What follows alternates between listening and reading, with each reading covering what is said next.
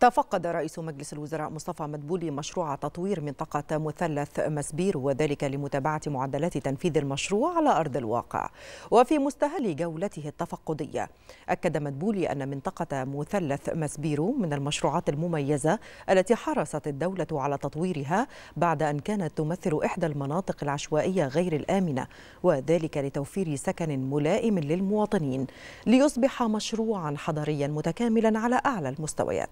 وأوضح مدبولي أن الدولة أوفت بوعودها بتطوير هذه المنطقة دون إلحاق أي ضرر لساكنيها وشدد على ضرورة الالتزام بالمواصفات الفنية والمعايير المطلوبة في التنفيذ وبأعلى جودة مع سرعة إنهاء أعمال تشطيبات أبراج السكن البديل بالمشروع لإعادة تسكين المواطنين بها قريبا وذلك وفقا للتكليفات الرئاسية في هذا الشأن.